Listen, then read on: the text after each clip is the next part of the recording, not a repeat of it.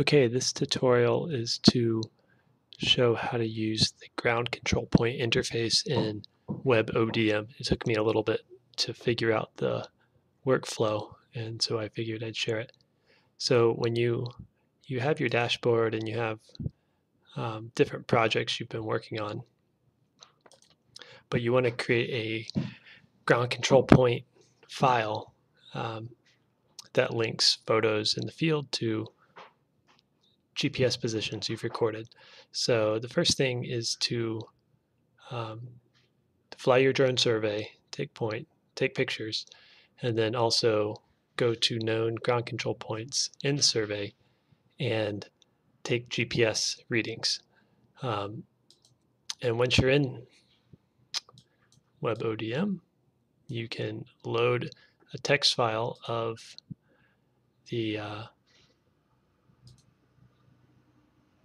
ground control points. This, so I just have an example one here.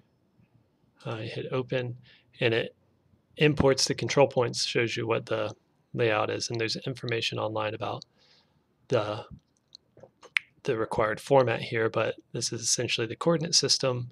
This is the name of the ground control point.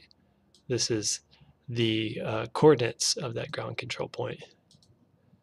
So then you hit load, and in the right it loads the the position of those ground control points in space according to where your GPS is.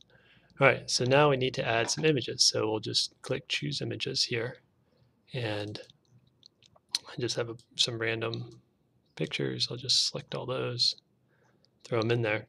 And now we need to link ground control points to our images.